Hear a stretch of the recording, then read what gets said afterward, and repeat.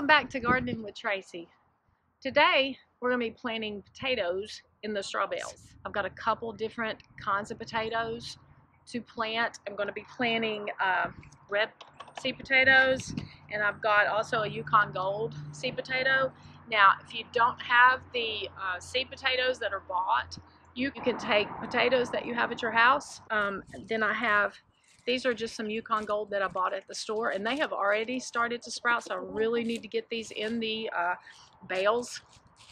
Some people will take and cut these, slice these the day before and let them dry overnight. You can do that, and I have done that. But you can also just take these and cut them and plant them, you know, just as is, and they will do fine as well.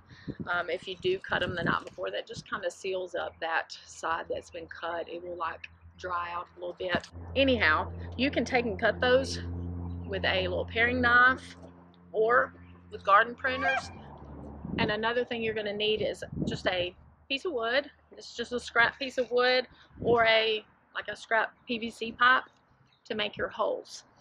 The uh, Yukon Golds and the red potatoes, you can plant about three of those in a bale you might could try more, but I think three would be sufficient. Um, some of these larger potatoes, I would only do one to two in a bale. So um, I'm going to try planting one of these and then the uh, red potatoes and the Yukon Gold. So let's get started. On this potato, you can see you've got one, two, three that have already started sprouting, but each of these are an eye. You want to make sure when you cut this that you have at least two eyes per piece to plant in your bale. So I could probably do about four on this one. I am going to cut this like halfway down the middle here. And I've got one, two, there's actually going to be about three on that one. So this is what you're looking at for your seeds. And on this one, you can easily see I've got one, two, three, actually I've got four on that one, but I've got at least two, so that works. Before we get started in planting these, I want to remind you to make sure your bales are not too hot. You want to make sure that you've conditioned them and you've let them cool down enough that you can put your potatoes in the bales. Because if you put your potatoes in here and it's too warm or too hot, your potatoes are just going to turn to mush and they're going to rot and whatnot. So make sure that your bales have already cooled down. I conditioned these bales. It's been about a week ago, I finished my conditioning process, so they're good and ready to start planting. So what you want to start out by doing is you want to take your stick and you want to measure how deep your bale is because you want to put these potatoes as far down into the bale as you can get them. So I'm going to use a marker. You could just use your hand. You could just hold it where it needs to be. I'm going to mark about where the top of the bale is that way I know how deep my bale is and I can go about that deep or just a little bit shy of that and we can get these put in the bale. Now what you want to do, you want to take your stick. Now put some gloves on to keep me from getting some splinters. And we're going to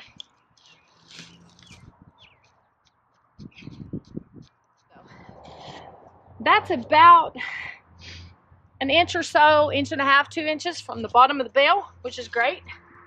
And then taking just waller that out just a hair and turn it. Because this is bigger than my potato seed anyhow.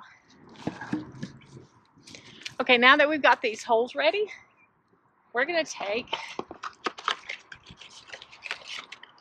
our seed potatoes, which I'm going to show you what they look like. They've already started sprouting. I bought these a few weeks ago.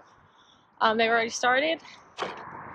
And make sure you got a couple eyes uh, at least a couple eyes on each potato, which these are. They're pre-bought, so they're pretty well ready.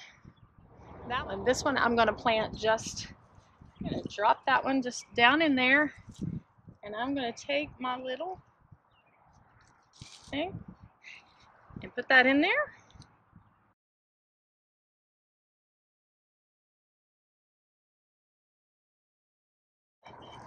There we go. And I'm not going to close these up. We're going to leave these open and wait for them to start sprouting and they'll come up and start coming out of the hole. And that can take two to three weeks. So just be patient, and let this happen. don't worry about it, don't bother, and you can even look down there and probably see them going uh, if you just are just get nervous about it. But just give these two to three weeks to start sprouting. And once they come up out of the hole, you're gonna take and just push the bale, push it together to kind of push it around that. And potatoes, they're tubers. So what you're gonna have, you're gonna have your stalk coming out of here and you're gonna have potatoes growing along that. And this bale, when it's time to harvest, you can just knock it over, cut these strings, all the straw will fall apart and then it'll just be loaded with potatoes. You should get about a bushel of potatoes out of each bale. So it's exciting whenever it's time to start harvesting the potatoes. And one thing about it, when you do them in straw, you're not gonna have to deal with the dirt. So you've got really clean potatoes uh, as it comes out. Not that that makes them any better. They're just clean, a little less, less dirt to fool with. Well, I'm gonna go ahead and finish up with planting the rest of my seed potatoes in my straw bales.